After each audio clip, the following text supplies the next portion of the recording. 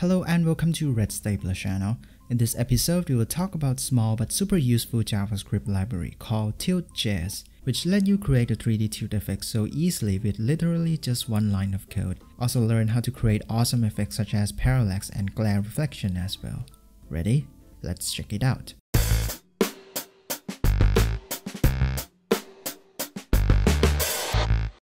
There are two versions of Tilt.js. The first and original version is Tilt.js which is jQuery dependent, and other one is vanilla Tilt.js which has no dependencies. In this tutorial, we are going to talk about vanilla version. First, you can download the code from GitHub or a project website, or use npm install command. Here's the example page that we are going to work on. You can find tutorial on how I create these three cards from pure CSS in the link below. Here's the HTML code of the page. There are three cards on the page, so I'm going to collapse the code to make it easier to understand.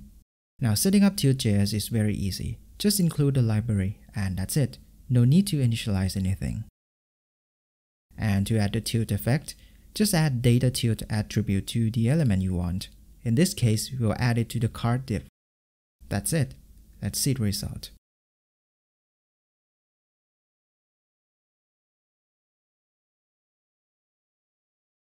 Now you can customize the tilt effect by adding more attribute next to the data tilt.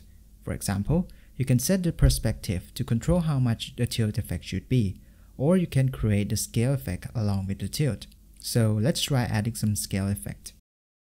I'm going to add 10% scale to the first card. I will also add data tilt to other cards as well.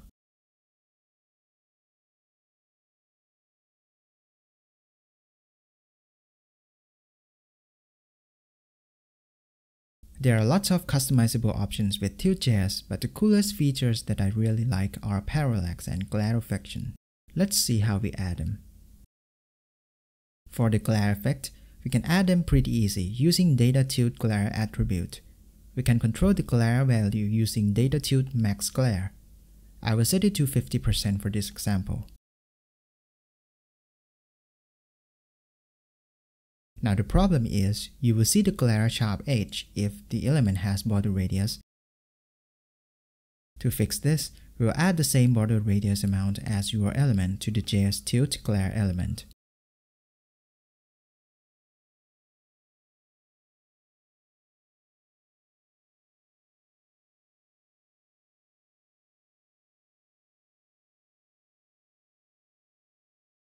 Next, we'll work on the parallax. First, set the transform style of the card element to preserve 3D.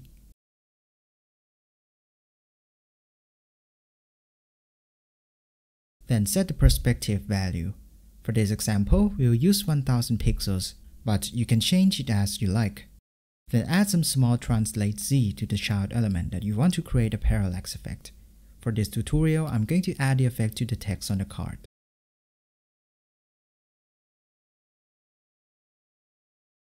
And that's it. Let's see the result.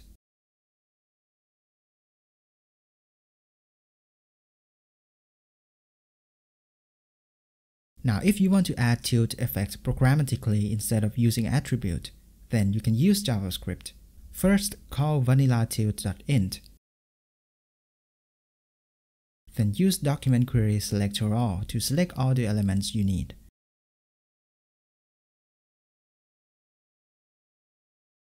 Then provide the option object.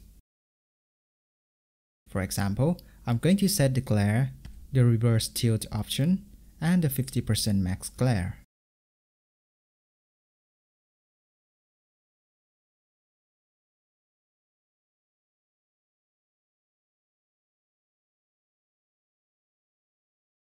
So that's all for this episode. If you love this tutorial, don't forget to like or subscribe to stay tuned with our channel. Thanks for watching. See you next time. Bye.